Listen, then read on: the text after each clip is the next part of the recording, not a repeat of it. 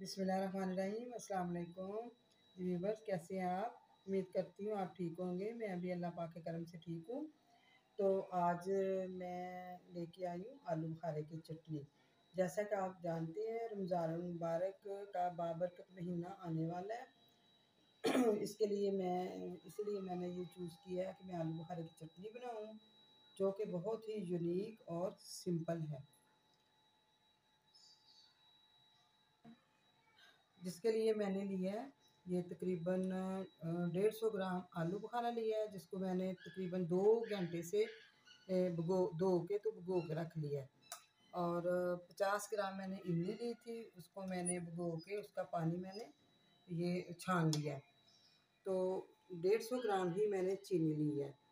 तो एक टीस्पून मैंने नमक लिया है, एक टेबल स्पून मैंने दड़ा मिर्च लिया है ये विनीगर लिया है मैंने, दो टेबल स्पून ये लिया है मैंने जामे शीरी कलर के लिए एक टेबल स्पून तीन से चार मैंने लिए हैं छोटी इलायचियाँ और ये है काली मिर्च एक टीस्पून और ये गार्निश के लिए जाएगा। चारों मगज़ हैं और ये बादाम मैंने छील के रख लिए हैं। तो आइए देखते हैं ये रेसिपी कैसे बनाते हैं। ये दो गिलास के करीब मैं इसमें पानी डाल रही हूँ। जी। इसमें मैं डालूँगी आलू खारा। रही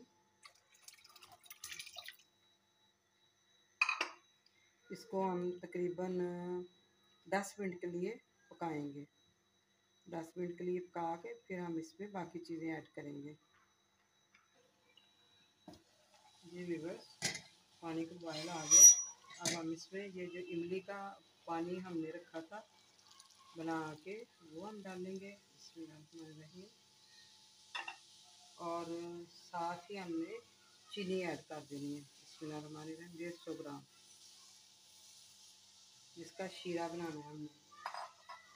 इसके साथ ही हम ये एक टीस्पून नमक डालेंगे इसमें हमारे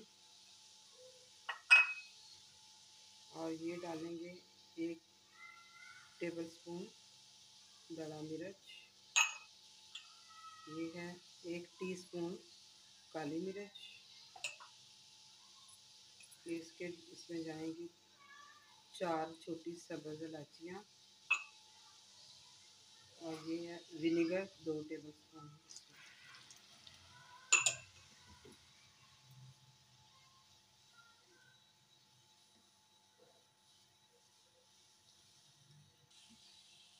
जी वीवर्स हम इसको अब 10 मिनट के लिए बना पकाएँगे। ये थिक हो जाएगा। फिर हम इसमें बाकी चीज़ें ऐड करेंगे। जी वीवर्स 10 मिनट के लिए हमने इसको पकाया। ये देखिए कितना अच्छा सा ये थिक हो गया। है तो अब हम इसमें थोड़ा सा रू अफ़ज़ा डालेंगे। इसमें कलर के लिए। आप चाहे तो ना भी डालें, लेकिन मैंने कलर के लिए डाला है। इसमें इसमें अब ये डालें हम चारों मगज़। ये हैं हमारे बादाम, इसमें जाएँगे जो मैंने छील के रखे थे। देखें कितनी अच्छी लुक आई है।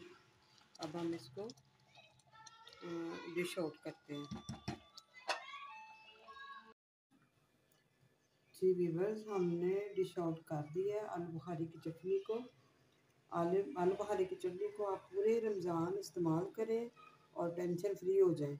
आप इस चटनी को अपने हर फ़ूड में इस्तेमाल कर सकते हैं। आप आलू बुखारी की चटनी को फ्रूट चाट और दही वलों में भी डालकर खा सकते हैं। ये पूरे रमज़ान ख़राब नहीं होगी। ये देखें वीवर्स इसकी लुक कितनी अच्छी आई है। मैं आपको ये दिखाती हूँ इसकी थिकनेस बिस्मिल्लाहिर्रहमानिर्रहीम देखिए कितनी अच्छी इसकी लुक आई है। और थिकनेस भी बहुत अच्छी है। मुँह में पानी आ रहा है देख के। शादियों में भी ये, यही चटनी यूज़ होती है। जो नाई होते हैं, यही बनाते हैं और लोग बहुत मज़े से खाते हैं। तो अगर मेरी वीडियो आपको अच्छी लगे, इसको लाइक करें शेयर करें और सब्सक्राइब करें। अपना बहुत सा ख्याल रखिएगा, अपनी दुआ में मुझे याद रखिएगा। इजाज़त दीजिएगा। अल्लाह हाफिज़।